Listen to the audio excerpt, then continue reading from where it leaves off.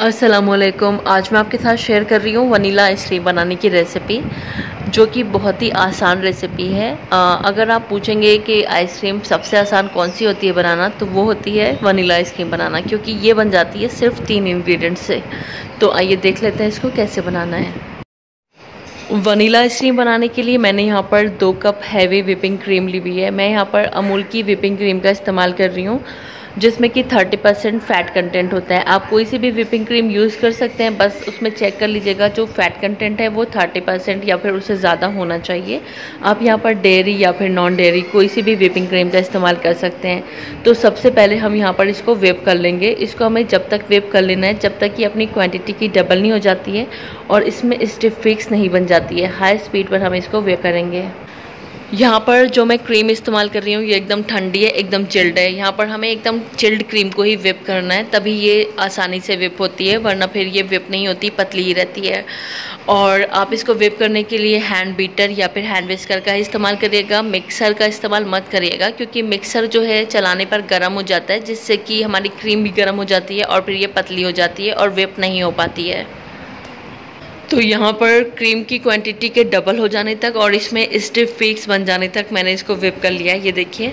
और हमारी क्रीम जो है अच्छे से विप हो चुकी है। तो अब हमें इसमें बाकी के इंग्रेडिएंट्स ऐड करने हैं। तो अब मैं इसमें एक कप कंडेंस मिल्क ऐड कर रही हूँ। ये मेरा होममेड कंडेंस मिल्क है, जिसकी रेसिपी आपको मेरे चैनल पर मिल जाएगी। मैं इसका लिंक आपको डिस्क्रिप्शन बॉक्स में दे दूँगी।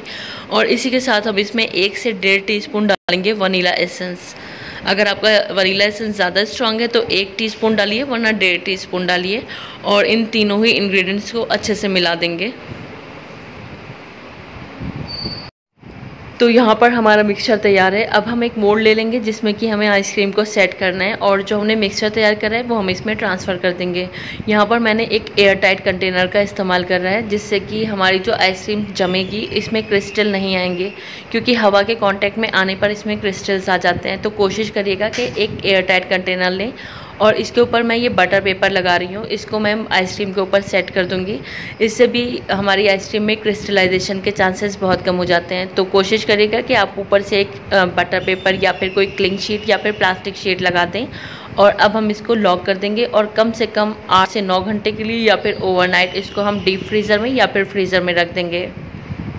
तो यहाँ पर मैंने आइसक्रीम को ओवरनाइट फ्रीज़र में रख दिया था और अब ये बिल्कुल सेट हो चुकी है।